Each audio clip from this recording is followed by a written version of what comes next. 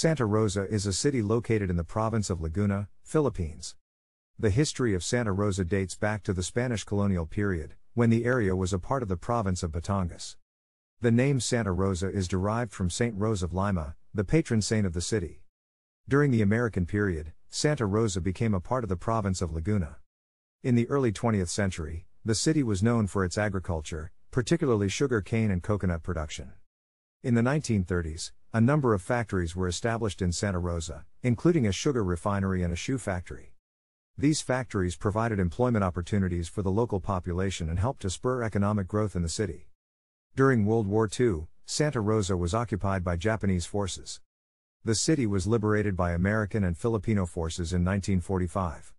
After the war, Santa Rosa continued to grow and develop.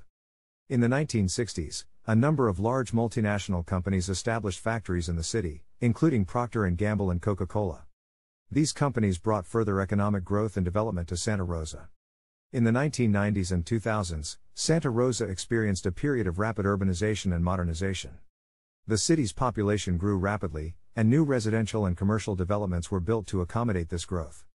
Today, Santa Rosa is a thriving city with a diverse economy and a vibrant cultural scene. Santa Rosa is a city located in the province of Laguna, Philippines. Its history dates back to the Spanish colonial era, when it was part of the province of La Laguna.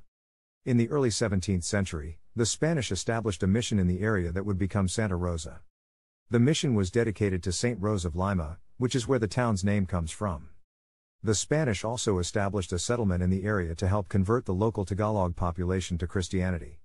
In the 19th century, Santa Rosa became known for its agricultural products, particularly sugar cane and coconuts. This led to the development of a thriving sugar industry in the area. During World War II, Santa Rosa was occupied by the Japanese.